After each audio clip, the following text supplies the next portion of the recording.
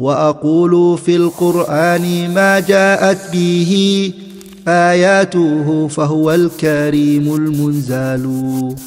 وأقول قال الله جل جلاله والمصطفى الهادي ولا أتأول.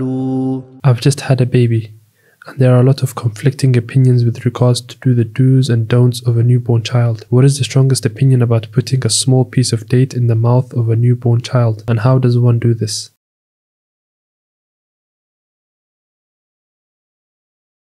الحمد لله رب العالمين له الحمد الحسن والثناء الجميل واشهد ان لا اله الا الله وحده لا شريك له يقول الحق وهو يهدي السبيل واشهد ان محمدا عبده ورسوله صلى الله عليه وعلى آله وأصحابه والتابعين لهم بإحسان إلى يوم الدين أما بعد.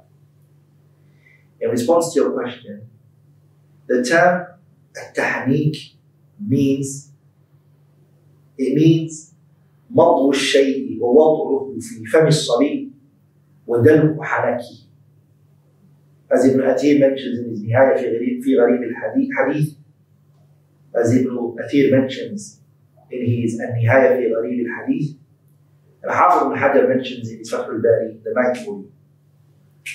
Tahniq means it is to uh, taste, it's to bite, and it is then to chew um, something, and then to place it on the palate of, of the uh, newborn child. Uh, it's to wipe it on its palate.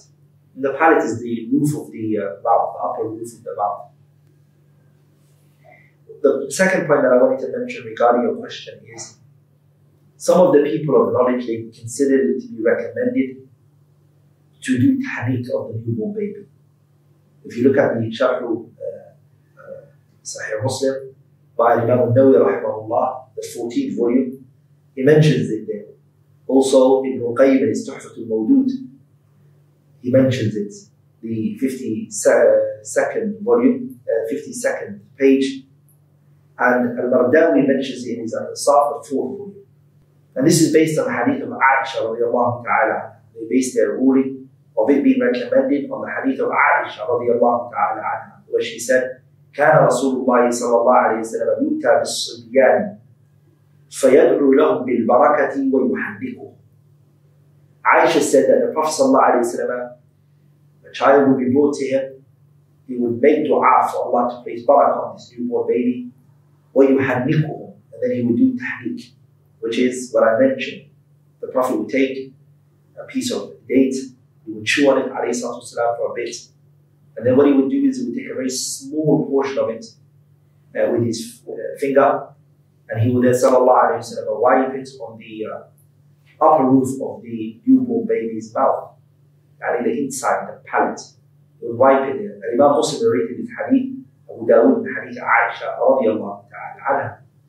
Also, it's narrated in Bukhari and Muslim, hadith Abi Burda, and Abi Musa al-Ash'ari, radiallahu ta'ala anhu, where he mentions Abi Musa al-Ash'ari, he said, ولد لي غلام, a newborn baby I had. Uh, فأتيت به النبي صلى الله عليه وسلم. I brought my newborn baby to the Prophet عليه الصلاة والسلام. فسماه إبراهيم. The Prophet called it Ibrahim. فحنكه بتمرة. And the Prophet صلى الله عليه وسلم, he did uh, تحنيك with dates. ودعا له بالبركة. And he made dua for Allah to place barakah on this newborn baby. ودفعه إلي and he made and he brought he passed the child back to me again. ودفعه إلي meaning he gave back he gave my child back to me. وكان أكبر ولد أبي موسى. And this was the oldest child of Abu Musa. And there's also many other hadiths that have come in this issue. Hadith Anas bin Malik Sahihain. Also the hadith of Asma radiallahu ta'ala anha, which you can find in Bukhari and Muslim. All of these hadiths, my beloved brothers and sisters, it shows that it's recommended for the newborn baby to have tahniq done for him. Uh, that is done by a righteous person, a knowledgeable, righteous individual, virtuous individual. And that he makes dua for Allah to place barakah on this newborn baby. ولذلك الإمام النووي رحمه الله in his Sahih, in his explanation of Sahih Muslim, he mentions that the tahniq of the newborn baby, the day in which he's born, is a sunnah by unanimous agreement of the scholars. Um, he mentions that, rahimahullah ta'ala. But this point, my beloved brothers and sisters, is what I want to stand over and I want to, inshallah ta'ala, bring it to your attention, which is all of these ahadith, according to the strongest opinion, it shows the permissibility of التبرك بذات النبي صلى الله عليه وسلم وريقه ولعابه. It shows these ahadith that I just mentioned, hadith Asma, hadith Anas bin Malik, and also the hadith of the other noble companions, Abu Musa al-Ash'ari, and other than them.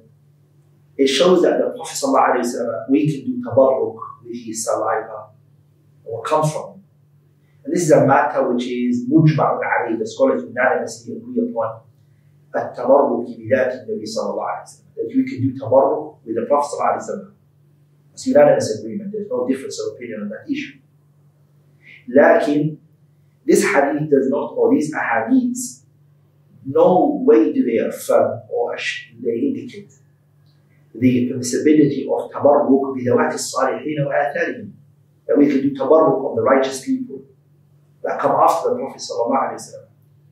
It has not been transmitted from any of the companions that they did this action. Okay? That they looked for a tabarruk uh, from the Sahabas. No one ever mentioned that other than the Prophet.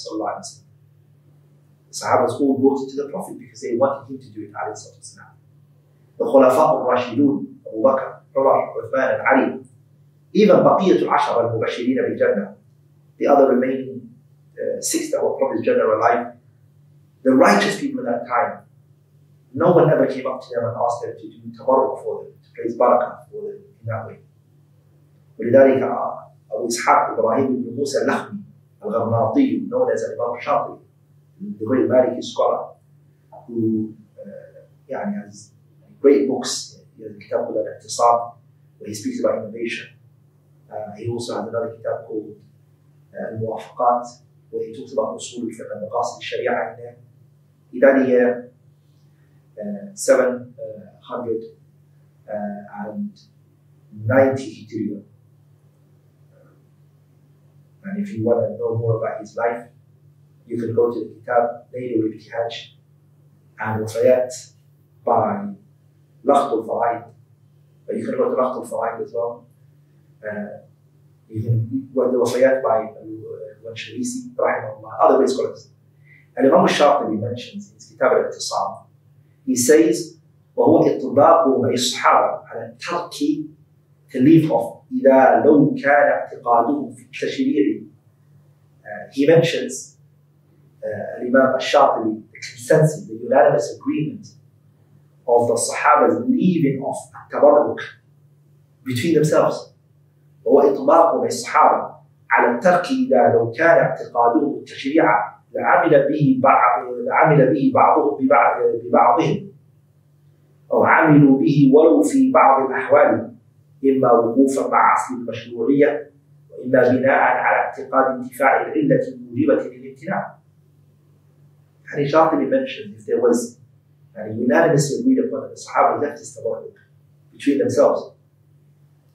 He mentions that in his Kitab al-Ittisam, second volume, page 10.